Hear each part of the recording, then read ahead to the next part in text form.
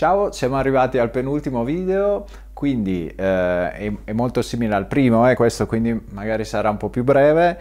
Eh, abbiamo un approccio in battere questa volta, sempre sulle triadi maggiori, quindi abbiamo sempre come accordo la maggiore, che ti ricordo ehm, puoi diteggiare, anzi ti consiglio di diteggiare sempre 2, 1, 4, la maggiore abbiamo La, Do diesis, Mi e La acuto, quindi dito 2, cambio corda, dito 1, dito 4 sulla corda di La e poi dito 4 ancora eh, per prendere l'ottava. E poi a blocco ci spostiamo sul, sul 6, sul Sol, scusa, eh, prendiamo Sol, Si, Re, Sol, poi sul Re maggiore, Re, Fa diesis, La, Re e poi sul Mi, Mi, Sol diesis, Si, Mi. Comunque è tutto scritto, tutto tablato.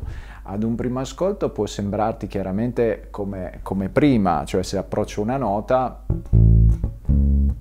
rimane sempre così. Quel che cambia è il riferimento ritmico sotto, come, eh, come spesso avrai già capito, soprattutto in questi, in questi tutorial.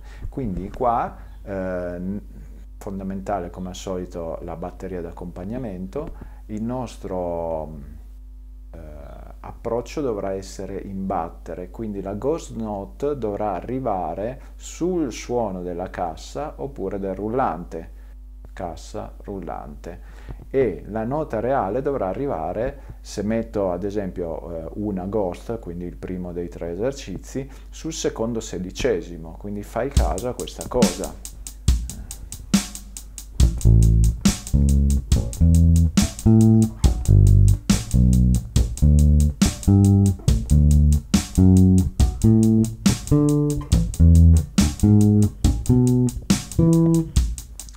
Cerca sempre di contare tutti i sedicesimi e cercare di interiorizzarli il più possibile in modo da poter dominare e dirgli tu su quale sedicesimo vuoi suonare e che cosa, ghost oppure nota reale.